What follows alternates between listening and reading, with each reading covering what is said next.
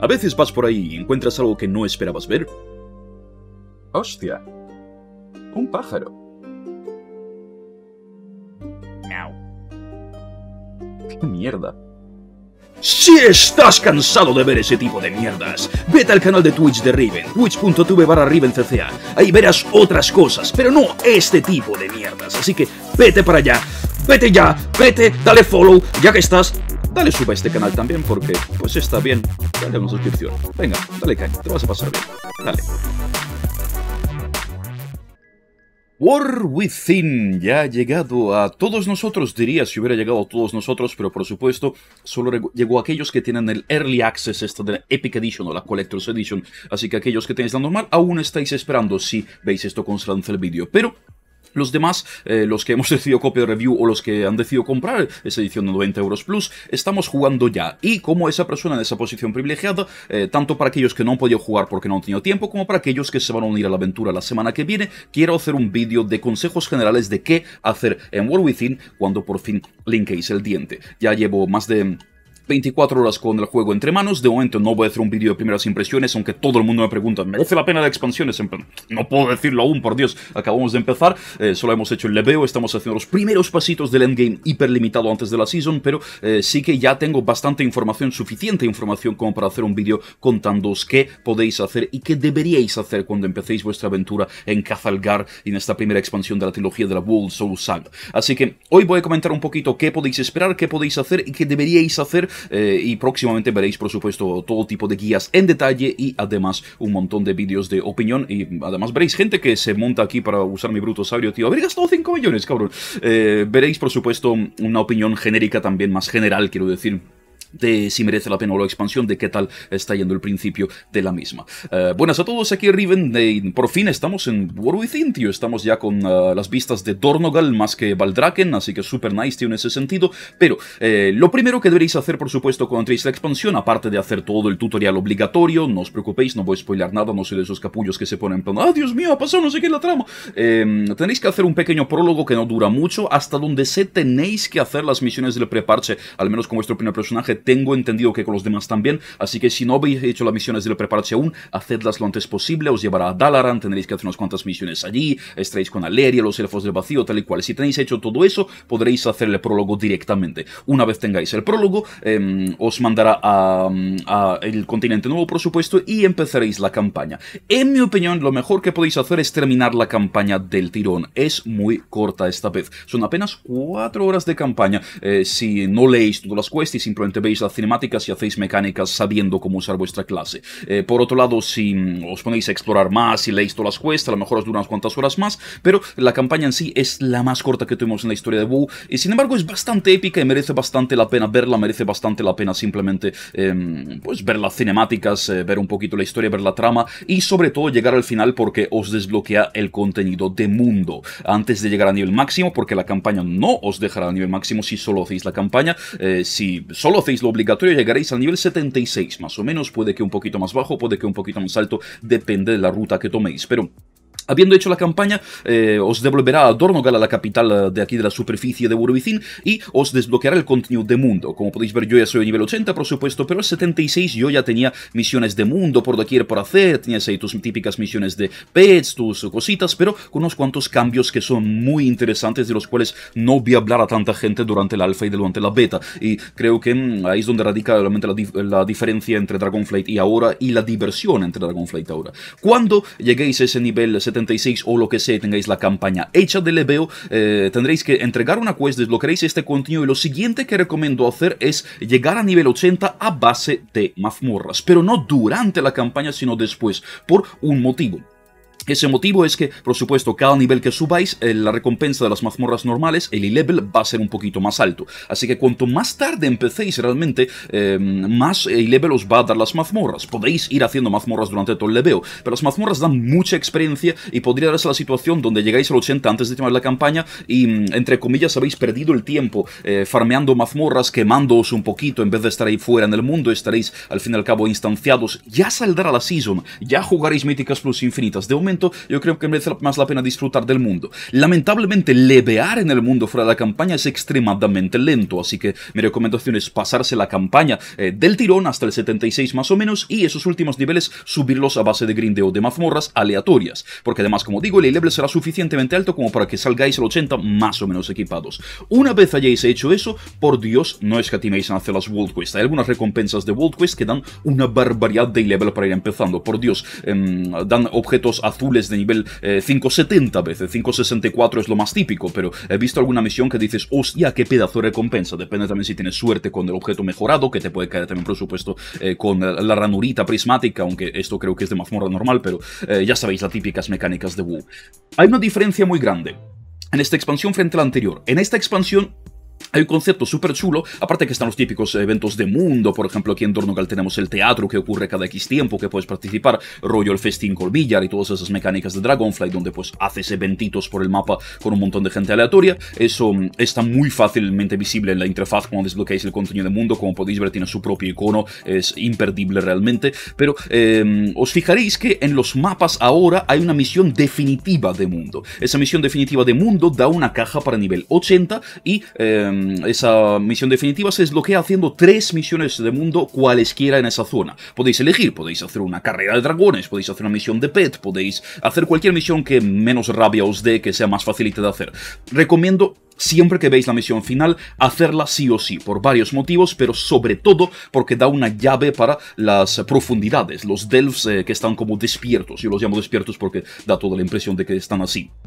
Eh, ¿Por qué? Porque antes de la season y sobre todo antes de las mazmorras heroicas, y ahora llegaremos a eso, es la mejor manera de equiparse. El mejor level cae ahora mismo en las profundidades. Por si no lo sabéis, hasta que salga la season, y la season sale en septiembre, quedan unas cuantas semanas aún fuera de season, em, eh, las delves, las profundidades, solo llegan hasta nivel 3. Eh, son relativamente fáciles cuando tenéis algo de equipo y sobre todo si vais con otros jugadores. Pueden caer todo tipo de boes, recetas y cosas así que podéis vender a buen precio en subasta. De hecho, todo este momento pre-season es muy bueno para ganar subasta, pero el E-level más alto que vais a poder sacar ahora mismo es en esas profundidades. ¿Cuáles son las despiertas? Veis que en el mapa salen estos iconos nuevos, son las profundidades. Si os fijáis, hay algunas que tienen como una puertecita abierta. Eh, no sé si en el vídeo se va a ver bien porque el icono es bastante pequeño, pero hay como una puertecita abierta. Yo de hecho ahora mismo solo tengo esa, eh, que está en la segunda zona del EVEO, por supuesto en cavernas resonantes. Em, esta mazmorra, si pasamos el ratón por encima, nos dice cuánto tiempo queda para que se resete y nos dice que eh, con una llave de arca podremos abrir un alijo especial, un alijo eh, chulo eh, que mm, nos va a dar más recompensa. la manera más eficiente de sacar estos, estas llaves para los alijos es haciendo esa misión especial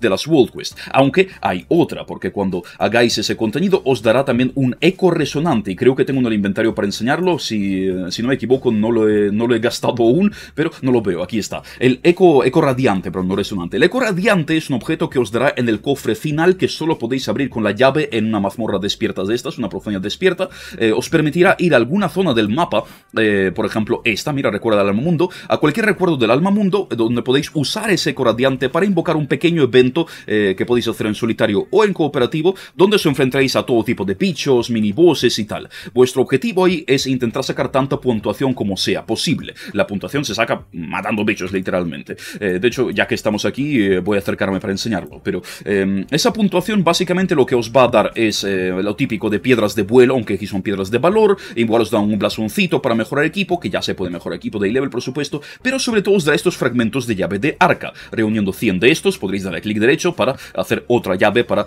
hacer otra profundidad despierta de estas y abrir otro cofre que os va a tirar un maldito 571, que es un pedazo de level para esta Precision. Con un 571 está estás bastante bien equipado ahora mismo. Y además es mejorable porque te spawnea en aventurero 1 de 8, así que le puedes meter bastante level extra eh, si vas farmeando esas eh, piedras de valor y esos blasones de eh, presagista en este caso.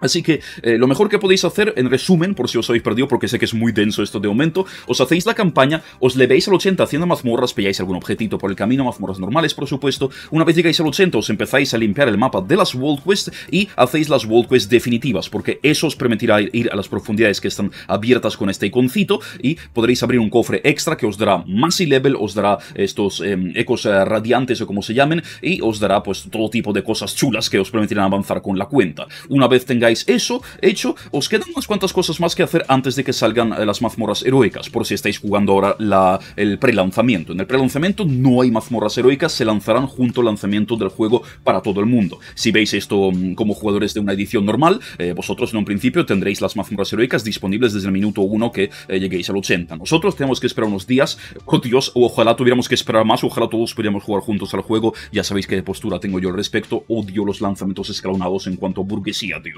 Es, en mi opinión todo el mundo debería jugar juntos y ya está, en mi opinión se han cargado un poco la ilusión. Pero bueno, no quiero entrar demasiado en eso tampoco. Em, una, vez, eh, una vez estén desbloqueadas las heroicas, por supuesto podréis hacer heroicas aleatorias desde el buscador de mazmorras de toda la vida y os tirará y level 5, 6, 4 si me lo recuerdo. Algo más bajo que estas recompensas de los Delfs una vez más. Eh, como podéis ver, eh, los Delfs ahora mismo siguen siendo la mejor manera de equiparse, te tiran el mejor loot del juego hasta la season básicamente.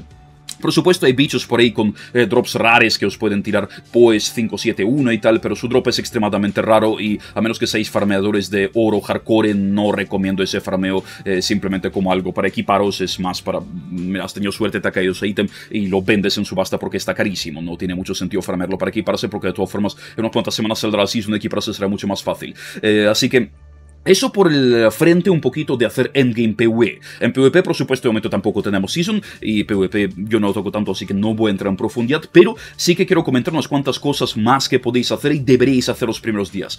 Uno es la economía y dos son las profesiones. Pero voy a comentar las profesiones primero porque hay un tema bastante importante que comentar que mucha gente ignora. En esta expansión vuelve el conocimiento de profesión. Si os fijáis, eh, tengo aquí la herboristería de Cazalgar y efectivamente tengo specs donde puedo meter conocimiento de profesión para tener las típicas, eh, las típicas stats de, de eh, más sutileza, más destreza, lo de toda la vida de Dragonfly, por supuesto. Este sistema a mí siempre me ha gustado, así que me alegro mucho que haya vuelto, pero eh, esta vez hay una manera muy fácil de progresar muy, muy, muy rápidamente, como podéis ver. O sea, han pasado solo 24 horas de lanzamiento del Early Access y ya tengo un nodo completamente lleno y tengo otro a una cuarta parte esencialmente. Por supuesto, eh, en el caso de herboristería funciona así, pero en caso de las demás profesiones eh, funciona de manera análoga. Cuando coges una planta por primera vez, te da un punto de nivel de conocimiento. Es decir, si nunca has encontrado una microflor, bueno, ya la llamo microflor, es una microflor. Eh, si nunca has cogido una microflor y la coges por primera vez, te da un punto de conocimiento. Si nunca has cogido una microflor irradiada, te da un punto de conocimiento. Por supuesto, las típicas exuberantes, irradiadas, yo qué sé, tocadas por el cristal, tocadas por el musgo o lo que sea, por las esporas. Em, todo eso da un punto de conocimiento. Pero importantísimo.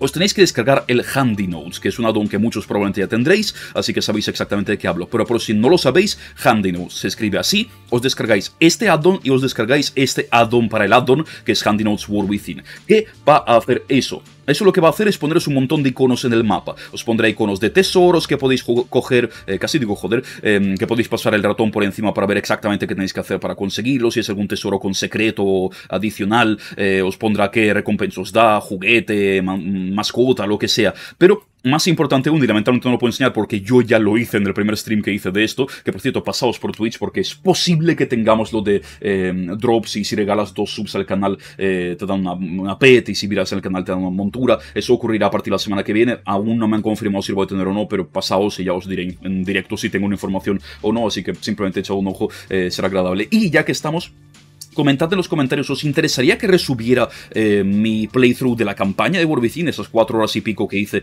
de campaña, simplemente sin editar, como un vídeo largo que os ponéis de chill a modo de podcast? Em, yo lo tengo streameado, evidentemente no me costaría nada subirlo, pero es por si tenéis interés o no. ¿Queréis ver eso? No lo sé. Eh, decidme en los comentarios si queréis verlo. Eh, pero volviendo al nuestro, yo ya lo hice en el stream, pero lo importante de este Handy Notes con el addon de War es que en el mapa detectará qué profesión tenéis, en el mapa os pondrá iconos de vuestra profesión eh, donde para cada profesión hay dos pequeños tesoros que podéis encontrar en cada mapa, y con el Handy Notes os dice exactamente dónde, que os darán tres puntos de conocimiento para esa profesión. Por ejemplo, yo como eh, herborista alquimista me salían eh, los objetos para esas dos profesiones. En cada mapa hay dos de cada uno de esos. Tienes dos objetos de herboristería y dos objetos de alquimia. Tendrías dos objetos de minería y dos objetos de herrería. Te salen por el mapa con el iconcito de tu profesión, simplemente te acercas, le das clic derecho, te aparece un lila en el inventario, le das clic derecho y te da esos tres puntos de conocimiento. Esto os dará un head start brutal, porque vais a tener un montón de conocimiento. Leed bien qué hacen vuestros nodos de especialización porque mucha gente no lo lee y eh, cada clic que vas por aquí te informa de qué exactamente te da. Por ejemplo, mucha gente no lo lee para nada, pero eh, como herborista, si entras en botánica en el primer nodo, te dice que cuando recolectas una hierba aquí, recuperas un punto de vigor con el vuelo dinámico, con lo cual farmear eh, plantas con el vuelo dinámico nunca fue tan sencillo. O sea, cualquier planta que encuentras te da directamente un punto de vigor. Fijaos, tengo ahora tres, me acerco a una planta, simplemente la cojo y me dará directamente uno de golpe, que es una puñetera pasada y casi nunca mm, estás varado en tierra, como pasaba muchas veces en Dragonflight y daba un montón de rabia. Es mucho mejor sistema. Leed bien qué hacen los nodos, meted los puntos con cabeza porque sigue sin haber un sistema de respect. el conocimiento de profesión que hayáis metido es permanente para siempre para ese personaje. Estos objetos que spawnan en el mundo de conocimiento no respawnean, son de un único uso por personaje, así que usadlo con cabeza, pero por favor cogedlo lo antes posible porque os va a dar una ventaja muy tocha en cuanto a recolección de plantas, de menas, en cuanto a creación de pociones, o lo que sea porque es extremadamente útil igual que en Dragonflight. Y por supuesto, como dije, economía cuanto más tiempo pase, y por eso me da mucha rabia que haya un Early Access de tres días, cuanto más tiempo pase, más barata está la subasta. Por si no lo sabéis, eh, la mayor parte de ítems eh, de subasta hoy en día se comparten en una subasta de región, no de servidor ya. Eh, eso ocurrió en Dragonflight y sigue así en World Within. Em, queriendo decir que si yo vendo una planta ahora mismo, no la vendo en el servidor de Sanguino en Europa, sino que la vendo a Europa entera. ¿Qué significa eso? Un montón de bots, un montón de especulantes, o sea, por ejemplo, fijaos, la lanza de Arathor es una planta que vale 70 G y la gente constantemente está baiteando para ponerla a 37, luego desaparece, los bots la compran para revenderla, luego mm, eh, alguien pone un montón de plantas a un oro para ver si alguien eh, es baiteado y vende sus plantas sin crear un oro y las recompra con un bot. Es un auténtico caos, causa un montón de lag y además lamentablemente causa una deflación brutal. Esta planta hace 24 horas estaba a 140 euros y se vendía perfectamente. Ahora mismo está a menos de la mitad y este mercado va a ir bajando. O sea, si entráis eh, la semana que viene es muy posible que en Europa, al menos en LATAM no lo sé, porque no juego en América. Eh, pero ahora veáis estos precios y la semana que viene veis este vídeo de nuevo, miráis los precios y decís, hostia puta, qué precios más guapos y ahora mismo están bajísimos. Lamentablemente es lo de toda la vida y por eso da mucha rabia que haya tres días de acceso anticipado. Mi recomendación con lo del conocimiento de profesión es eh, gastadlo con cabeza para vuestra profesión de recolección, recolectad todo el puto mapa mientras estéis leveando y vendedlo todo. Vendedlo todo, deshaceos de todo el puto stock, el stock va a ser más barato. Lo más probable, 99% de eh, que el stock va a ser más barato, con lo cual si luego queréis recomprar ese stock para eh, subir la profesión o refarmearlo, en cualquier caso os ha rentado venderlo antes porque ganáis más dinero. Em, por supuesto, si sois millonarios y os suda la hostia completamente tener oro en game, no hagáis caso de este consejo pero sé que muchos me seguís precisamente porque os interesa el tema de ganar oro en WoW, así que mi recomendación, vendedlo absolutamente todo, o sea, como podéis ver yo todas las plantas, no tengo nada de inventario de eh, profesión, todas las plantas que veo yo directamente las vendo, por supuesto fijaos que nadie esté baiteando con el precio, o sea, fijaos aquí alguien por 17, pero la mayor parte de plantas están a este rango de precios, pues lo pones más o menos a ese, eh, porque si no, básicamente perdéis dinero de la nada. Así que vendedlo todo, gastad vuestro conocimiento o profesión y eh, ya cuando veis que los precios se asientan un poquito, ahí empezáis ya a subir esta profesión de eh, producción. Como podéis ver, yo la alquimia apenas la he subido, a pesar de que tengo un montón de conocimiento, no tengo ni una sola aspect de momento. Em, pero de todas formas, no podéis tomar decisiones muy buenas en cuanto a vuestra profesión de eh, producción hasta que no sepáis exactamente qué es lo que se busca en vuestro servidor y mm, qué es lo que queréis hacer con vuestra profesión. Así que dejadle un tiempo para que respire y ya subiréis la profesión de producción cuando toque. Eh, salvo que tengáis eh, conocimiento de alguna receta de vuestra profesión, vea herrería, encantamiento o algo, que os da una barbaridad de pasta, evidentemente, porque algunas profesiones que eh, tienen materiales que cuestan muchísimo dinero ahora mismo y se puede sacar buenos oros. No es el caso de la alquimia, créanme, lo he comprobado. pero, mm, por supuesto, si surgen nuevos métodos de farmeo, rollo el farmeo del orbe resplandeciente en Dragonflight o lo que sea, nada más lo sepa, nada más lo teste, lo voy a hacer, lo voy a hacer guía, lo voy a comentar por aquí en YouTube si estáis atentos a Twitch podréis ver cómo diseñamos esas guías, podréis ver eh, el proceso de, oh, mira, me llega un rumor de que este farmeo funciona, venga, nos juntamos unos cuantos, lo probamos, ah, vale, al final no es tan eficiente, o, Dios mío, estamos haciendo ricos todos, podéis participar, por supuesto, en esos eventos y mm, os enteréis mucho antes que cuando ya tenga la guía elaborada, completa, editada, grabada y tal, eh, pero bueno, eso ya es vuestra decisión al final, pero yo creedme que voy a hacer lo posible para una vez más petaros de guías eh, que os puedan servir, que os puedan ayudar, que al final eh, es por lo que muchos os suscribís a este canal y muchos seguís viéndome años después. Así que eh, espero que con estos consejos genéricos más o menos os haya quedado más claro qué hacer. en realidad la interfaz base del juego es súper, súper, súper nítida, súper clara. Es muy fácil enterarse de todo lo que ocurre, como podéis ver, o sea, se puede ver fácilmente qué eventos de mundo hay, qué mm, eh, misiones de mundo hay, eh, lo explica todo muy muy muy bien en la propia interfaz sin ningún addon, no hace falta descargarse un World Quest List ni hostias porque ya no tenemos que buscar a Cerita o poder de, artefacto ni hostias. Así que simplemente explorad, haced la campaña y levelead, subid vuestras profesiones, ganad mucho mucho oro, metedle un montón de tiempo y metedle un montón de pasión, tío, porque nunca se sabe si la expansión al final será buena o no, igual de aquí a unos meses nos empieza a aburrir y nos quemamos, pero eh, una cosa os digo, estos, eh, estos, estas épocas de pre-season en WoW, eh, si, la, si no quemáis la pre-season, si intentáis disfrutarla, muchas veces se acaban en nuestra memoria como las mejores épocas de una expansión de World of Warcraft. Y, es simplemente mágico ver con un, un, montón de gente con poco y level dando vueltas por ahí em, sin saber muy bien qué está ocurriendo, aún descubriendo cosas que eh, nadie antes había visto, completamente innovadoras y eh, todos juntos explorar el mundo de fuera en vez de estar encerrados en instancias. Es una sensación maravillosa y por favor os pido que la recordéis, os pido que la disfrutéis y os pido que os quedéis con estos recuerdos por si acaso, porque nunca se sabe si luego os va a quemar la expansión y no seguiréis jugando. Y como consejo final, ¿veis estas cositas de aquí? Cogedlas, ya en el futuro sabéis para qué, pero os van a dar eh, trocitos de mm, arcillita, creo que era, o como se llamara, eh, cera, perdón, no era arcilla, era cera. Eh, ya veréis en la segunda zona en el PC que, que les va a dar necesidad. si lo veis por el camino, cogedlo, si no lo veis, tampoco hace falta buscarlo adrede. así que esto ha sido un poquito, Dios, 20 minutos de, de mi guía de mm, genérica, no estructurizado, un poquito más de tú a tú, eh, de un compa básicamente explicándote cómo cojones enfrentarte a la expansión nueva. Así que espero que de corazón que os haya servido más o menos, que os haya esclarecido a pesar de ser tan densa y tan poco estructurada, eh, os haya esclarecido alguna cosita y estéis un poco más preparados para empezar vuestra aventura en World Within, para ir haciendo cosas chulas por ahí y no perderos por el camino. Las cavernas subterráneas estas que tienen un cielo como si estuvieran fuera, e incluso naves voladoras, pero bueno. Eh, Muchísimas gracias a todos chicos, como siempre, gracias a la peña guapísima que sale en pantalla, los enormes que nos apoyan tanto aquí en YouTube, dan ese botón de unirse, como sobre todo los Patreons. Los Patreons participan en sorteos mensuales de cualquier juego de Instant Gaming que les apetezca. Se agradece muchísimo si os suscribís a Patreon porque eso permite ir al canal adelante. Eh, por supuesto, eh, echarle un ojo a Instant Gaming, también está en la descripción, podéis comprar juegos más baratos y en serio, cada compra que hacéis ahí eh, cuenta para que el canal sobreviva también. En Discord tenéis un ranking de quién ha comprado más cosas al mes, así que si queréis ver vuestro nombre, echad un ojo en Discord. Y arriba a la derecha os será un vídeo que os va a interesar sí o sí. Eso me dice Google, no sé si es verdad, decidme, ¿es verdad o no? No lo sé.